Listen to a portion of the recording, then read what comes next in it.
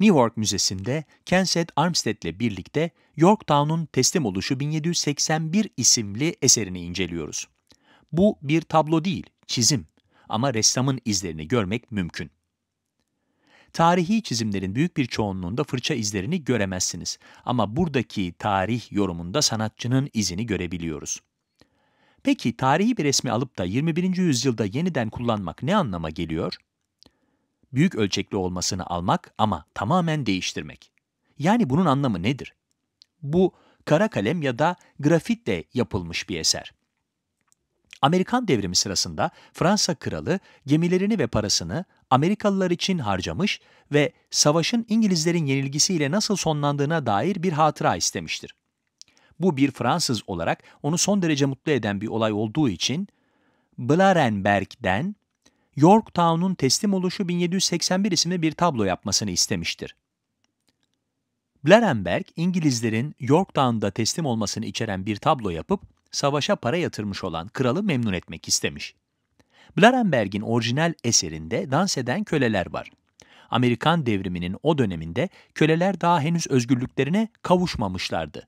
Ve gerçekten de dans ettiklerini düşünmüyorum ben.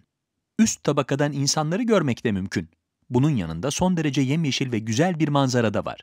Bir savaş sonrası etrafın bu şekilde görünebileceğine inanıyor musunuz? Bu yeni dünyanın hayalini kuran birinin yeni dünyası olabilir. Fransa kralı da sanatçı Blarenberg de daha önce Amerika'ya gitmemişler. Blarenberg, kralı memnun edecek bir resim yapıyor ancak bu resmin tarihle pek bir alakası yok. Sanat eserlerinde iki tür yalan vardır. Birincisi illüzyon yalanıdır. Karşımızda düz bir tuval ya da kağıt parçası var ama üzerindekilerle uçsuz bucaksız bir manzaranın içindeymişiz hissine sahip olabiliyoruz.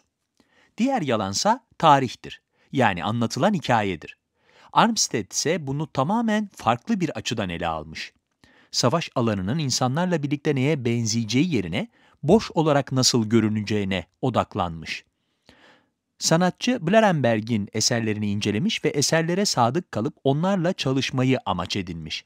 Çalışırken de bu kurgu, bu da kurgu demeye başlamış.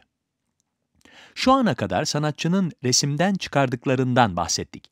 Tarihi resimlerin ilüzyon yaratan geleneklerinden ve bize yaşattıkları yanılgılardan bahsettik. Burada sanatçı muhteşem bir boş alan yaratmış. Yüzlerce insanın öldüğü berbat bir savaşın sonrası. Amerikan devriminde ölen ilk kişi Afrika kökenlidir.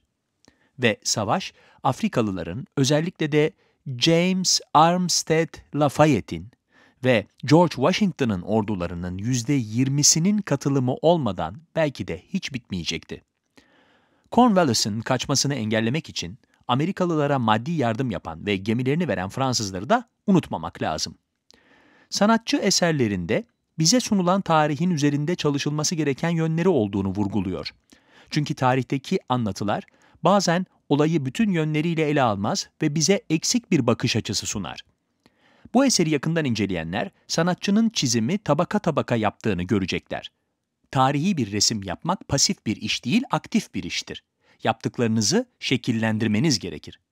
Bu eserde sanatçı bize bir sahne, boş bir alan veriyor. İçini daha doğru bir tarih anlatısıyla doldurabileceğimiz uçsuz bucaksız bir alan.